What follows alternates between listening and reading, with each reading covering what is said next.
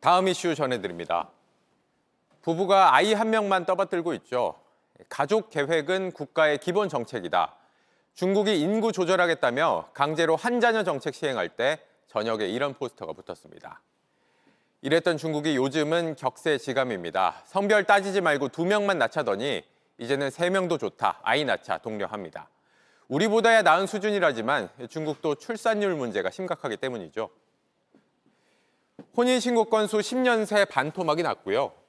지난해 합계 출산율 예상치가 1.09명, 한국처럼 연명대 진입도 시간 문제란 전망입니다.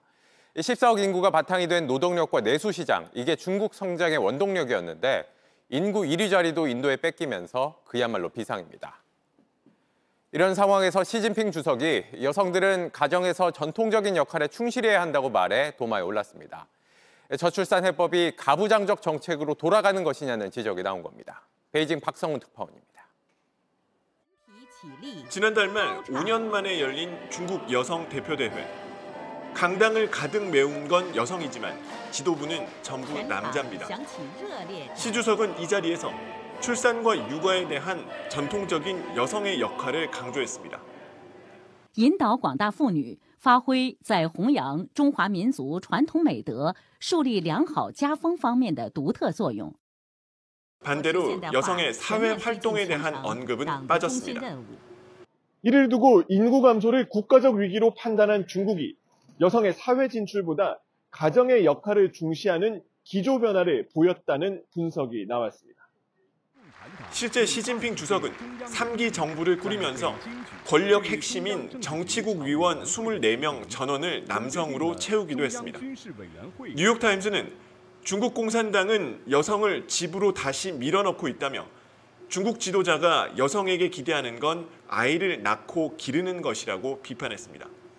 불과 10년 전 성평등과 여성의 자아 실현을 강조했던 분위기가 달라진 건데 최근 들어 출산율이 급격히 떨어지면서 이 같은 기류 변화가 생겼다는 분석입니다.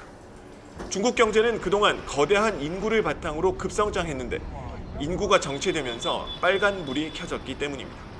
셋째 출산 허용이나 양육비 지원 등 각종 대책을 쏟아냈지만 출산율은 더 떨어졌고 급기야 지난해에는 인구 세계 1위 자리를 인도에 내줬습니다.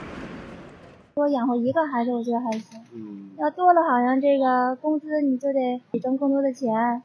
那你挣多的钱呢，时间上又陪伴孩子时间又很短了。 미국의 견제 등으로 중국 경제가 침체 국면으로 들어서고 청년 실업률도 사상 최고치를 기록하면서 시 주석의 바람과는 달리 출산 기피 현상은 더 가속화될 거란 전망이 나옵니다. 베이징에서 JTBC 박성훈입니다.